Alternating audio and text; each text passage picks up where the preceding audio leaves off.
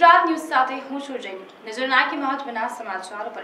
નર્મદા જિલ્લાના વડા મથક રાજપીપળા ખાતે પ્રેસ ક્લબ નર્મદા આયોજિત અને સુરક્ષા સેતુ સોસાયટી નર્મદા પોલીસના સૌજન્યથી તેમજ સ્વર્ગસ્થ રત્નસિંહજી મહેડાની સ્મૃતિમાં આજ સતત સાતમા ગણેશ મહોત્સવનો રંગેચંગે પ્રારંભ આશાપુરી માતાના મંદિરના ચોકમાં ગણેશની સમૂહ આરતી સાથે ગણેશ મહોત્સવનો પ્રારંભ કરાયો હતો.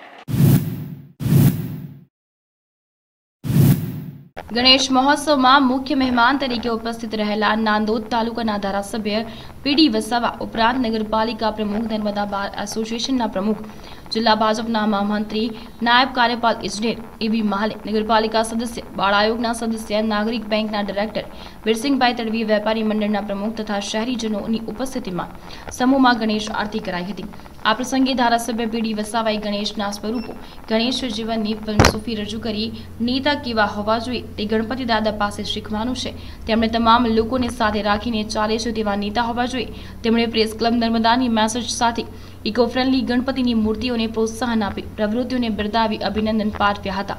નગરપાલિકા પ્રમુખ જિગીષાબેન ભટ્ટ, એવી માલે ગજેન્દ્ર જાડેજાએ સતત સાત વર્ષથી ચાલતી ગણેશ મહોત્સવ તાજિયા હરીફાઈ, શેરી ગરબા અને નવરાત્રી રાસ ગરબા હરીફાઈ યોજી લુપ્ત થતી સંસ્કૃતિને સજીવન કરવાની પ્રેસ ક્લબ નર્મદાની સુંદર પ્રવૃત્તિને બિરદાવી હતી.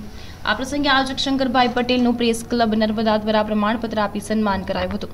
આ પ્રસંગે બેટી બચાવો બેટી પઢાઓ અને પર્યાવરણના સંદેશા સાથે મહેન્દ્રભાઈ પ્રજાપતિએ કાપડની થેલીઓનું વિતરણ કર્યું હતું.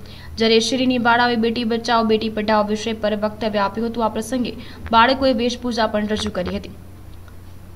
તો પ્રેસ ક્લબ નર્મદાના પ્રમુખ દીપક જગતાપે સતત સાત વર્ષથી સફળતાપૂર્વક યોજાતી પ્રેસ ક્લબની વિવિધ પ્રવૃત્તિનો ખ્યાલ આપી પીઓપીની મૂર્તિ ન વાપરવા માટીની ઇકો ફ્રેન્ડલી મૂર્તિઓનો ઉપયોગ કરવાની પ્રેસ ક્લબની પ્રેરણાથી નગરમાં મોટેભાગે આયોજકો માટીની ઇકો ફ્રેન્ડલી મૂર્તિઓનો ઉપયોગ કરતા થયા હોવાનું જણાવી ગણેશને ચડાવતા ફુલહાર નદીમાં ન નાખતા. તેને કલેક્ટ કરી ખેતરમાં દાટી તેનું ખાતર બનાવી નદીને પ્રદૂષિત થતી અટકાવી પર્યાવરણનો મેસેજ આપ્યો હતો.